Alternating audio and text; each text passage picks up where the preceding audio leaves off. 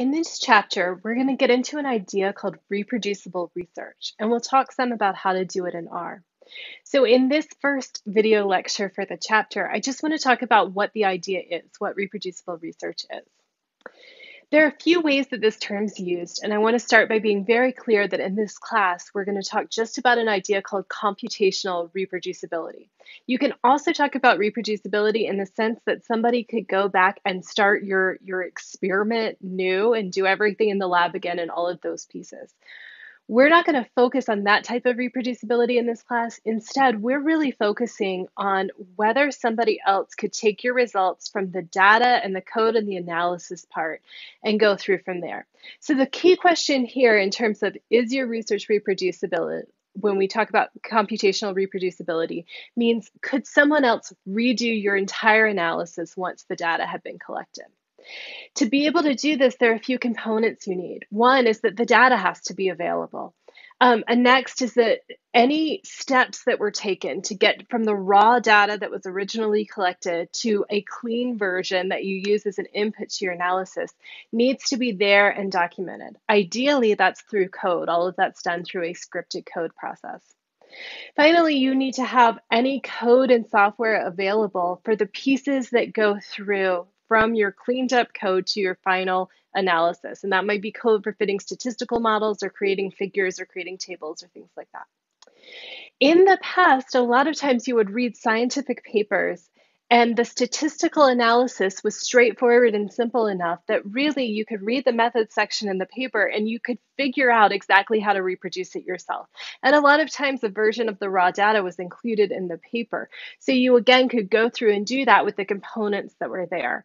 But a lot of statistical analysis methods have gotten much more complex, and a lot of the ways that um, that people analyze the data and, and the size of the data sets have, have just changed in such a way that in many method sections now you can't do that just based on the text there.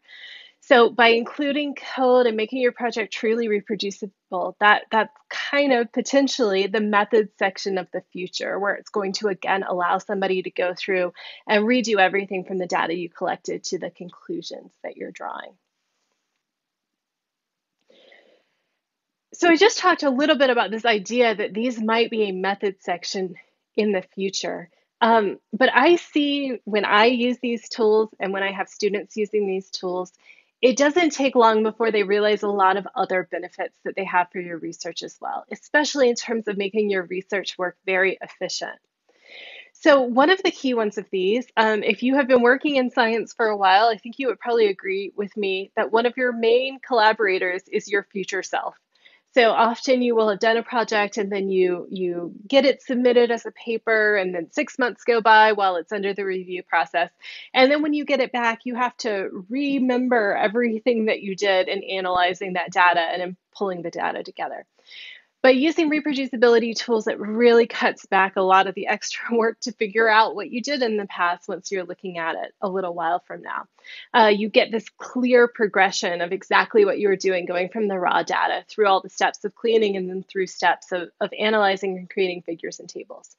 Now, that also means that if you need to make some changes, if you need to go through and run a sensitivity analysis, or maybe you need to change one figure a little bit, or maybe even somebody's recognized that um, there are some issues in the data and you need to adjust the data um, before you run through everything to do some kind of sensitivity analysis. In those cases, by having a setup in the way that we're going to learn how to do, you can essentially make those changes at one spot and kind of press a button, and everything gets put back together into the final version of the manuscript or the report. It's also very nice because when you are ready to publish, you can do these last checks to walk through everything and make sure that there wasn't something that you missed or that you you had a small error on along the way. And it also makes it much easier to take the work that you're doing and share it with other people. Often you might do a project and somebody else wants to do a related one, and they love to have a starting point in terms of, of code and analysis and how you created your figures. By using these tools, you'll have something you can very easily pass along to other members of your lab group or to a scientist you want to collaborate with. There's one example that, that, that happened probably about a decade ago now that really brought home both the importance of documenting all of the steps if you're cleaning your data and running your statistical analysis and all of that, but then also the value of different scientists being able to go back and reproduce the work that other people have done and look for for issues and concerns and all of that to make sure it's not just this black box of like well we got our data and we document it very well everything in the lab we did to get it. But then we did the statistical analysis where you can't really follow all the details because there's not enough room in the methods. And then these are our results and you need to kind of just take by faith what happened in between so in this case, I put a little bit of text up from a New York Times article about it, but I've also put links through to articles that came up in The Economist and, and Simply Statistics about it. But it was a case of a genomic study, and it, um, it, it, gave a surprising result, a very interesting result, and one, one that people wanted to build on, including the original research team and some other research teams. And so some of the other researchers wanted to confirm and make sure that this finding w- was really sound and valid before they moved it into, into trying to do some clinical tests with it. And so they wanted to go back through each of the steps. And they were able to get all of the data and they were able to get some of those materials um, for, for doing that kind of in between stuff of getting results from the data. And once they started looking at that, this is Dr. Baggerly and Dr. Coombes, they found that there were some issues. And um, the original team kind of attributed these in the quote that I put here as clerical errors. And it was things that seemed small, like small offsets in the spreadsheets. But what ended up happening is that sometimes gene names were kind of like off by one row with all of the data. And as a result of that, the, the implications and the interpretation were, were very far off for some of the, the outcomes. So, some steps that, that are really important for making your research reproducible and that we'll be covering some in this course First of all, you should keep all of your raw data and you should keep it right in your project directory. We've been working some with R projects and they are a great tool for reproducibility in terms of keeping together all the materials for a project.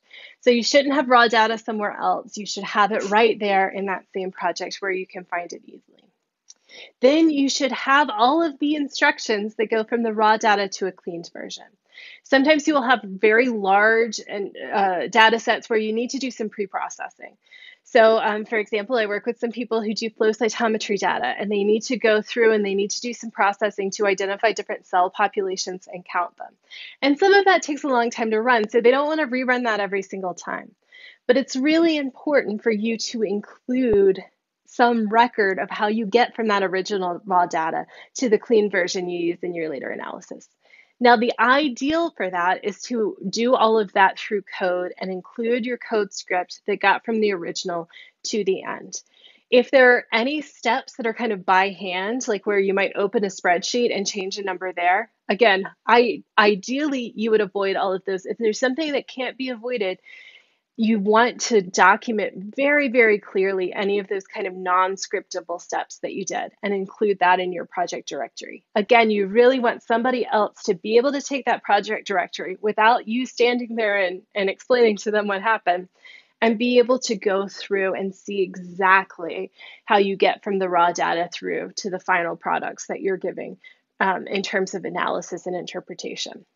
Another point here that's also important is that you should include the details for the software that you're using along the way for any analysis. So um, packages do change. The base R software of R, it changes slowly, but it does change. If you want something to be truly reproducible, you want to try to include the version of each package that you used along the way.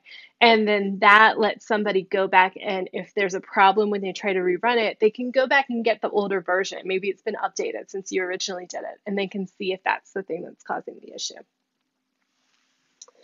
We're going to cover some different tools for reproducible research. We're going to focus on some of the more basic ones, but I do want to talk with you some about some of the other ones that you could potentially find and use.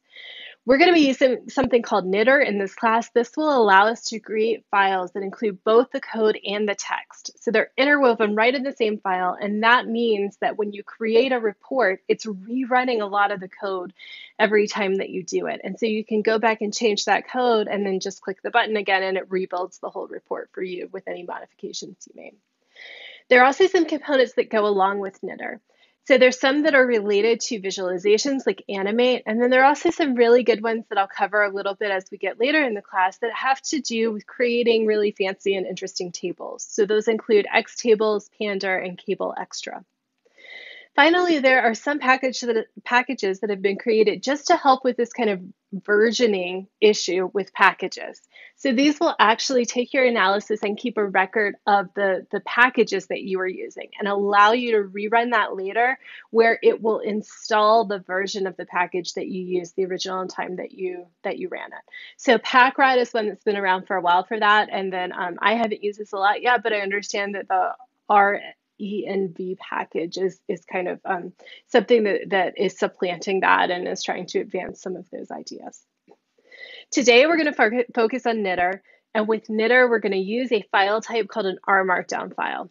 So in the rest of the video lectures, we'll be talking some more about the principles, but really focusing a lot on the practical details of how to use knitr and then to use that type of file.